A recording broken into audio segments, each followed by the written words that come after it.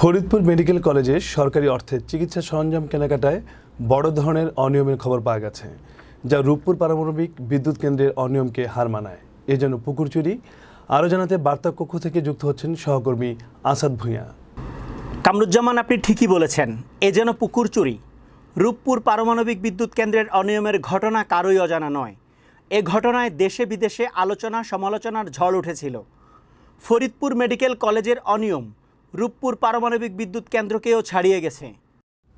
একটি oxygen plant পাঁচ কোটি সাতাশ লাখ টাকা।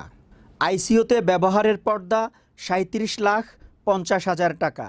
ভ্যাকুয়াম প্ল্যান্ট সাতাশি লাখ পঞ্চাশ হাজার টাকা। মনিটরিং প্ল্যান্ট তেইশ লাখ পঁচাত্তর হাজার টাকা। ডিজিটাল ব্লাড প্রেশার মেশিন দশ লাখ পঁচিশ হাজার টাকা। হেড কার্ডিয়াক স্টেথোস্কোপ মেশিন এক লাখ বারো হাজার টাকা।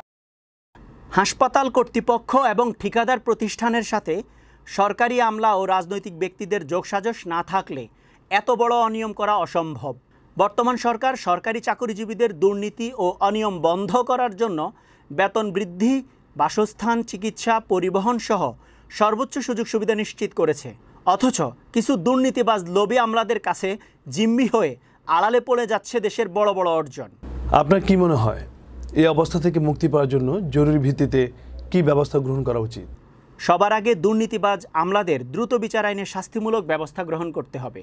দেখুন, যারা রূপপুরে, বালিশ আর ফরিদপুরে আইসিইউতে ব্যবহারে পর্দার আড়ালে পর্দা লাগিয়ে অনিয়ম করে কোটি কোটি টাকা কামিয়ে নিচ্ছে, তাদের সঠিক বিচার হচ্ছে না বলে অন্য আমলারাও সাহস পাচ্ছে অনিয়মে জড়াতে। শীঘ্রই এর ব্যবস্থা গ্রহণ করা উচিত।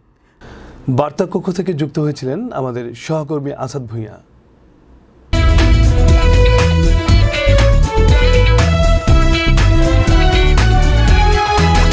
পল্লী টিভি, দেশ ও জনতার কথা বলে।